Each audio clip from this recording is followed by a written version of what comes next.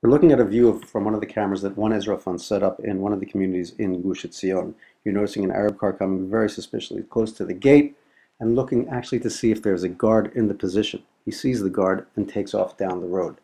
This particular location has been the site of numerous IEDs, shooting attacks, and Molotov cocktails. And it's working very hard to actually catch the, the terrorists who are perpetrating these acts.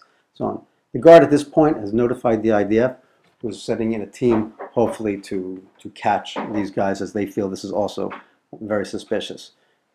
Note to mention, of course, that One Israel Fund has been working very proactively, actually, to prevent terror attacks, and this is one of the instances. Edited out a few minutes of dead time. We notice now, actually, you'll see that the car is coming back, speeds up, gets close to the gate as he can, throws out a package, which actually is an IED that does not go off, and heads back towards the Arab village.